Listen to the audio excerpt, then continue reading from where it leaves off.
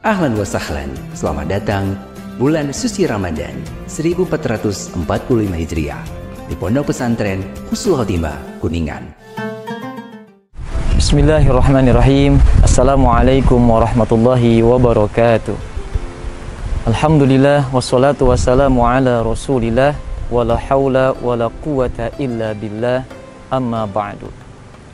Sahabat HKTP yang dirahmati Allah Subhanahu wa taala, pujian hanyalah milik Allah Subhanahu wa taala, satu-satunya zat yang telah memberikan kita kemauan serta kemampuan. Sehingga dengan izin Allah Subhanahu wa taala, alhamdulillah pagi ini kita mampu melaksanakan ibadah puasa di bulan Ramadan. Salawat salam semoga tercurah limpahkan kepada baginda alam Nabiullah Muhammad sallallahu alaihi wasallam kepada para keluarga, sahabat dan tentunya kepada kita yang sampai detik ini sedang berusaha semaksimal mungkin untuk mengikuti ajaran dan sunnahnya. Sahabat HKTP yang dirahmati oleh Allah Subhanahu wa taala, betapa bahagianya ketika kita menemukan suatu benda yang pernah kita kehilangan itu. Ketika kita kehilangan sebuah benda, kemudian kita menemukannya, alangkah bahagianya hati kita.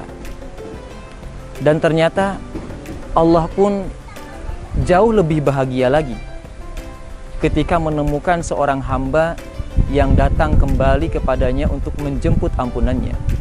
Dalam sebuah riwayat diriwayatkan, "Lallahu afrahu bitaubati ahadikum min ahadikum bi dhalatihi idza wajadaha. Betapa Allah teramat sangat bahagia ketika ada seorang hamba yang datang menemuinya kemudian merintih meminta ampunan kepada Allah Subhanahu wa taala. Sahabat HKTP yang dirahmati oleh Allah Subhanahu wa taala, Ramadan ini adalah momen yang tepat bagi kita untuk menjemput ampunan Allah Subhanahu wa taala. Jika ada pertanyaan, apakah mungkin Allah akan mengampuni dosa-dosa saya, Kang? Kata Allah Subhanahu wa taala, "Qul ya ibadiyalladzina asrafu ala anfusikum ala anfusikum la taqnatu min rauhillah, min rahmatillah." Wahai hambaku yang telah berbuat berlebihan terhadap dirinya dalam artian berbuat dosa, jangan pernah sesekali kalian berputus asa dari rahmatnya Allah Subhanahu wa taala.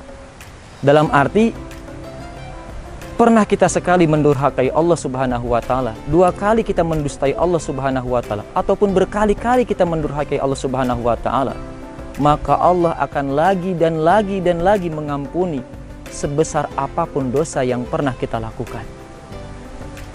Sahabat HKTP yang dirahmati Allah Allah Subhanahu wa taala, jangan pernah menghukumi kebaikan dengan penundaan.